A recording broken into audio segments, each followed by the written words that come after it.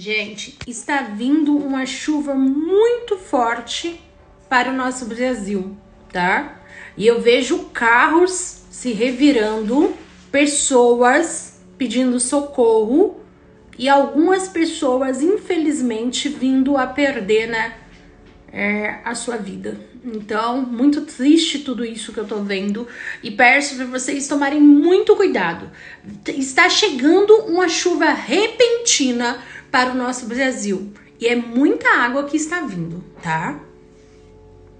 Quero mandar um, recado para alertar as mamães que estão gestante, que estão precisando muito de oração, de reza, tá? E é muito sério. A espiritualidade já vem me avisando, né? Esse é o segundo vídeo que eu estou fazendo, tá, gente? Em um tempo muito pouco, de 15 dias, para poder avisar a Bia, esposa do Sorocaba, Virgínia, esposa do Zé Felipe, tá? Vitube, é, tem uma também, eu não sei se é influência, o nome dela tem letra T. E outra com a letra S, tá bom? que tem que tomar muito cuidado, muito cuidado, tá? Por causa que eu vejo espíritos oriundos, espíritos obsessores rondando a gestação dessas moças. Então elas precisam tomar cuidado e precisa acender vela para o anjo da guarda dos seus bebês. Gente, acabei de ter um insight aqui, né? Mundo espiritual e as eleições para São Paulo, prefeito, né?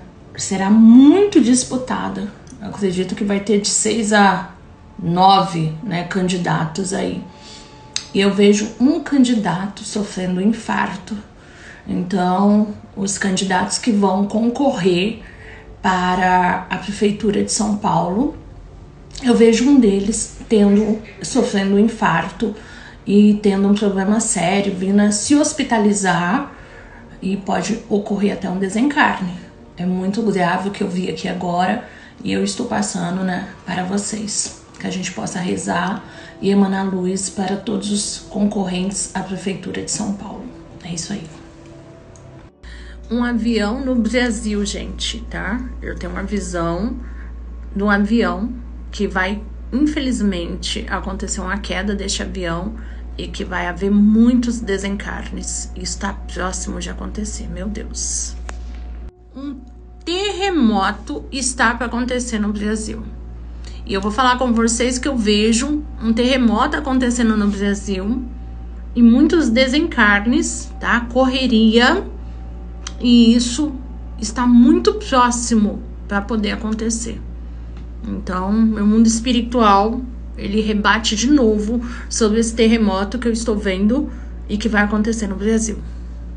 O corpo de uma criança vai ser encontrado e vai ter uma reviravolta em um caso.